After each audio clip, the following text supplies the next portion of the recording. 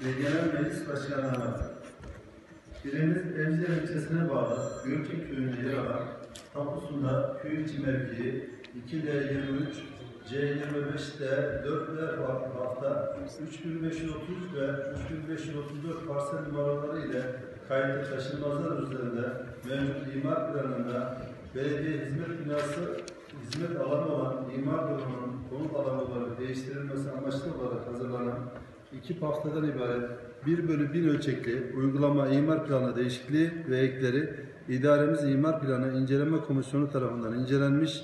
Ayrıca www.pin.csp.gotr adresinden plan işlem numarası UİP 39875 olarak belirlenmiş olup söz konusu imar planı paftaları ve hazırlanan komisyon raporu yazımız ekinde gönderilmektedir. Gereğini rica ederim. Mustafa Tutulmaz, Afyonkarahisar Valisi.